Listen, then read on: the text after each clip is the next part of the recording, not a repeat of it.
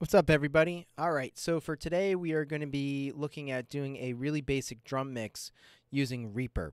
Okay, so the first thing we're going to do is we're going to organize our mix a little bit. Um, so when we first open it up, we notice that we have track listings on the left-hand side.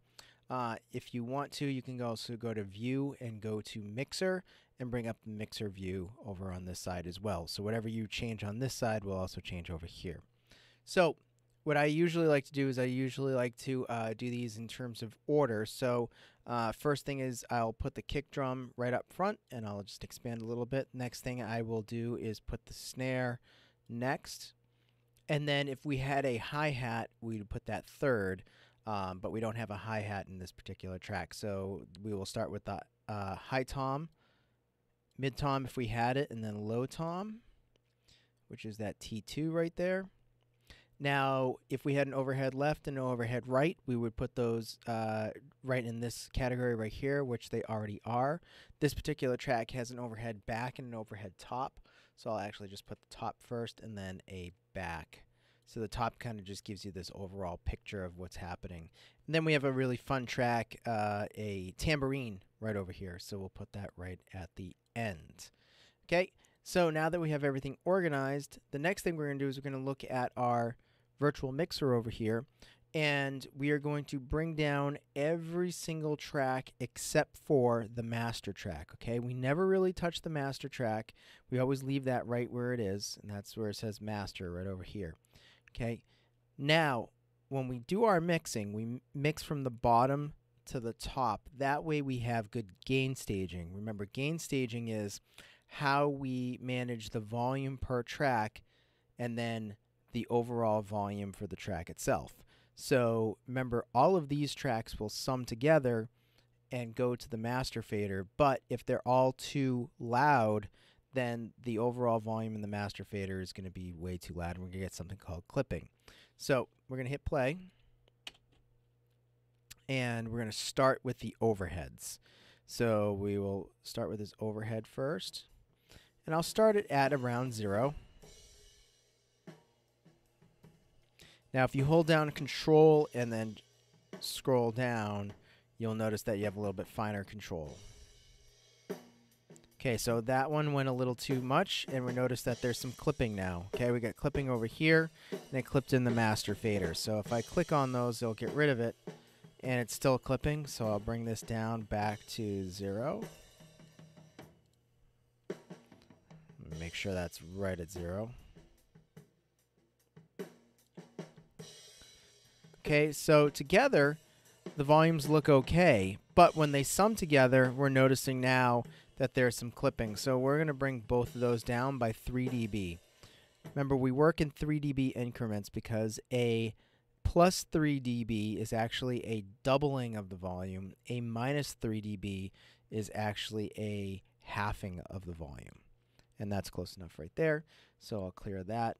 And now if we notice,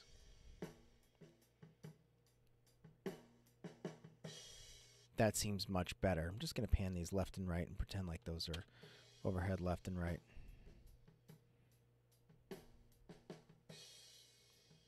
Cool. Okay, next thing we're going to do is we're going to bring up our kick drum nice and slow so that it supports the overheads. We don't want to overpower the overhead, but we definitely want to support the overhead with that kick drum. So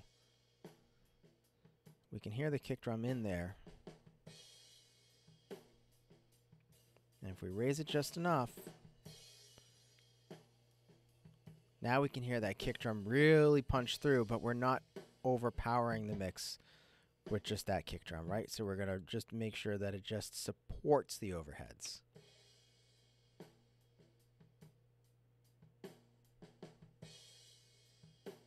Not enough. There we go. Right around four and a half. And now nothing is overpowering, and we still have good gain staging. We're going to do the same thing with the snare.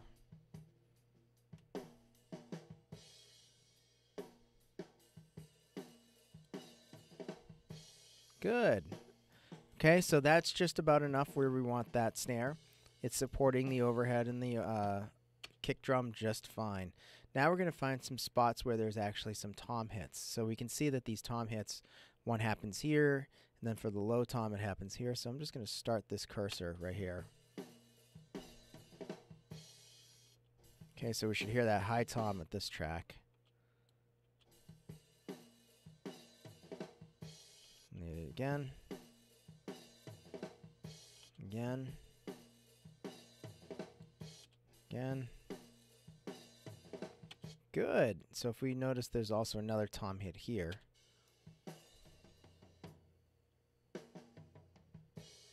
Nice, okay? I'm just going to move that a little bit to the left as well, just to try to get it out of the middle. And let's do the same thing with the low tom hit. Because now with that low tom hit, we see that there's a very clear one right here. So anytime you see these really high peaks, that drum's been hit at that point.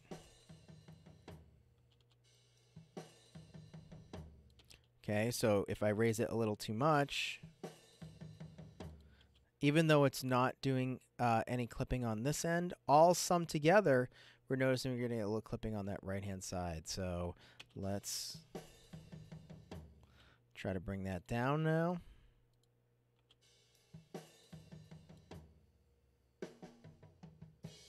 And now we have a very clear picture of what's happening in that drum set. We have that high tom going doo doo doo doo doo doo doo at the across the stereo spectrum because we actually put them that way using the panning.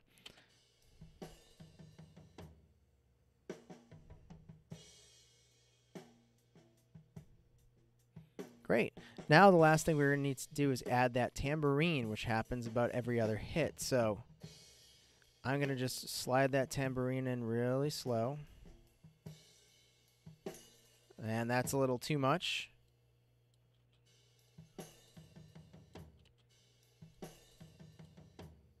Okay.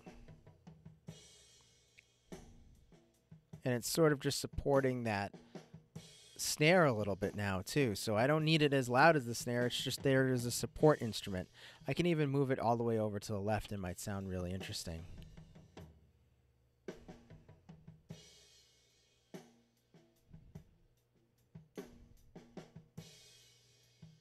And that kind of just brings out the tambourine without interfering with the snare drum. Okay, so that is a basic drum mix. Uh, so you're going to start with everything at the bottom and then raise it from the bottom to where it's just supporting the overheads. Okay. After that, you can go through and actually add some EQ.